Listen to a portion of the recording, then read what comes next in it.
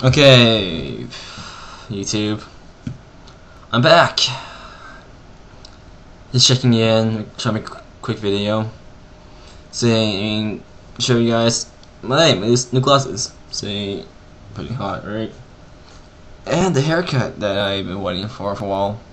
It's a bit shorter than I usually want it, but it works with glasses. So just big difference, right? So it's probably been a little late, but um, yeah, just tell me how your your holiday went and stuff. Your break, rate, comment, subscribe, and yeah, just keep video.